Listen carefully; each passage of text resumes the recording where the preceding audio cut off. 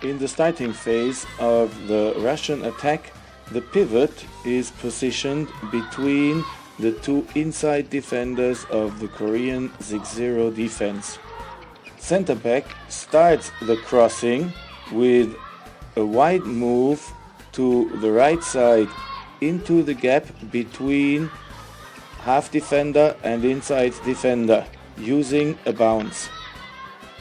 Half defender on the help side anticipates with an open positioning the pass to the left back.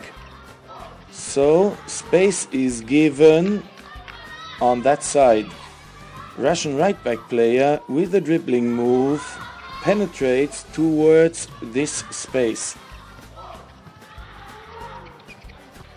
Inside defender follows but cannot avoid the pass to left back. Left back crosses and uses the way to the center area. In the center, one defender is working against two attackers. This creates an easy situation for left back to shoot from inside 9 meter.